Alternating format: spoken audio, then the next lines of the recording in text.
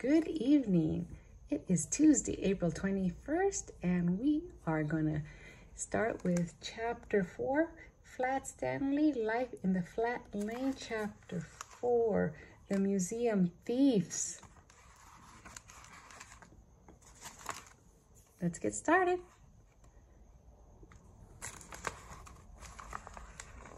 In this chapter, we have Flat Stanley starting right here. He is pushing the buttons on the elevator and he's looking kind of suspicious at his neighbor. There wondering. He is looking at it is mr and it's mr um, dart.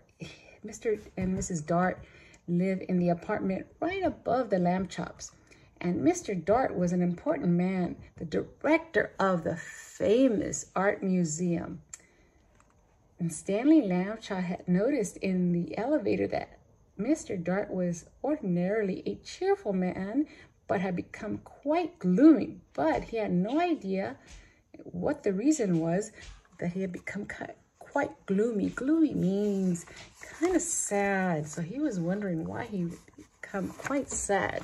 So he was wondering, hmm, and look at that. He's, Mr. Lambchop's there reading the newspaper and it looks like there's something in the newspaper that says another painting has been stolen. So we think uh, we might know why he's been quite gloomy.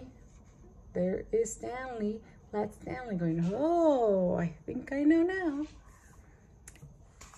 It says here, and then at breakfast one morning, he heard Mr. and Mrs. Lambchop talking about Mr. Dart. I see, said Mr. Lambchop, reading the paper over his coffee cup, that still another painting has been stolen from that famous museum. It says here that Mr. O.J. Dart, the director, is at his wits' end. Oh dear, are the police no help? said Mrs. Lambchop. It seems not, said Mr. Lambchop. Listen to what the chief of police told the newspaper. We suspect a gang of sneaky thieves. These are the worst kind. They work by sneakery, which makes them very difficult to catch. However, my men and I will keep trying. Meanwhile, I hope people will buy tickets for the policeman's ball and not park their cars where signs say don't.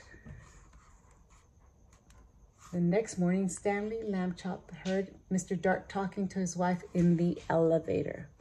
Well, there's Mr. Dart and there's Stanley talking and listening to Mr. Dart talk to his wife.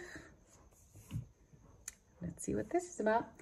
The next morning, Stanley Lambchop heard Mr. Dart talking to his wife in the elevator. These sneaky thieves work at night, Mr. Dart said. It is very hard for our guards to stay awake when they have been on duty all day. And the famous museum is so big, we cannot, we cannot guard every picture at the same time. It, I fear it is hopeless, hopeless, hopeless. Suddenly, as if an electric light bulb had lit up in the air above his head. Bing! Giving out little shooting lines of excitement, Stanley Lambchop had an idea.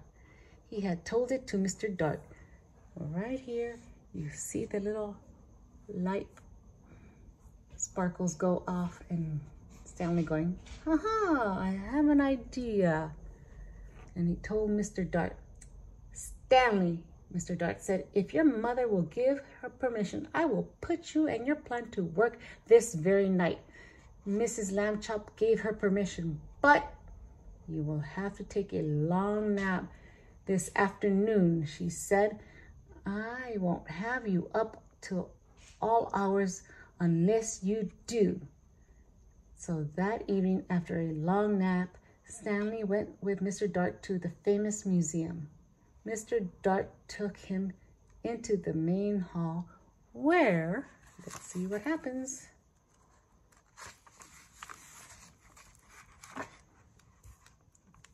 Ah, so this is the main hall of the museum. The biggest and the most important painting were paintings were hung. He pointed to a huge painting that showed a bearded man wearing a floppy velvet hat playing a violin for a lady who lay on a couch. There was a half man, half horse person standing behind them, and there three fat children with wings were flying around above. Well, that wasn't very nice to say. Hmm. That, Mr. Dart explained, was the most expensive painting in the world. There was an empty picture frame on the opposite wall where we shall hear more about that later on. Mr. Dart took Stanley into his office and said, It is time for you to put on a disguise. I already thought of that, Stanley, Lambchop said, and I brought one, my cowboy suit, he said. It has a red bandana and that I can tie over my face. Nobody will recognize me in a million years, he said. No, Mr. Dart said, you will have to wear the disguise I have chosen for you. From a closet, he took a white dress with a blue sash, a pair of shiny little pointed shoes, a white straw hat with a blue band that matched the sash, and a wig and a stick. The wig was made of blonde hair, long done in ringlets. That stick was curved at the top, and it too had a blue ribbon on it.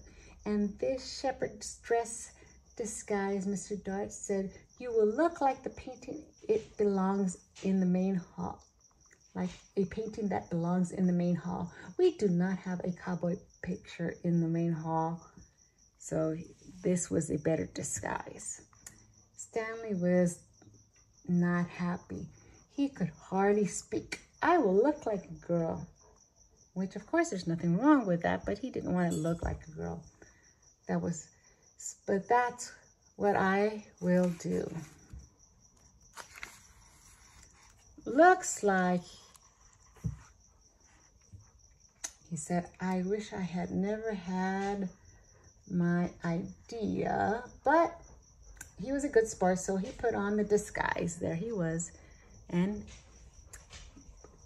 back in the main hall, Mr. Dart helped Stanley climb into the empty picture frame. Stanley was able to stay in place because Mr. Dart had cleverly put four small spikes in the wall so that he could hang. The frame was perfectly fit against the wall. Stanley looked just like the picture, except for one thing. Mr. Dart said shepherd dresses are supposed to look happy. They smile at their sheep and at the sky. You look fierce, not happy, Stanley. So Stanley had to smile. Stanley tried hard to get far away look eyes and even to smile just a little bit. He had to force that smile. That's what Mr. Dart was telling him. Oh, there's no picture in this one. Mr. Dart stood back a few feet and stared at him for a moment. Well, he said, it may not be art, but I know what I like. He went off to make sure that the certain other parts of Stanley's plan were taken care of, and Stanley was left alone.